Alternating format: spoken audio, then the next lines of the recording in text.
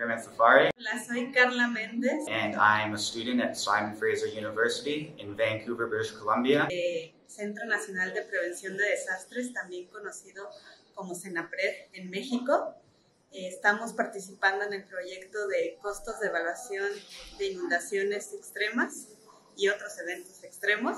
As a very interested young adult, it's good to see that we have created the space to address these complex environmental issues. Eh, estamos convencidos que compartir las experiencias que tenemos en evaluación con otros países es muy importante So I'm very grateful uh, to the CEC that we have created that those opportunities.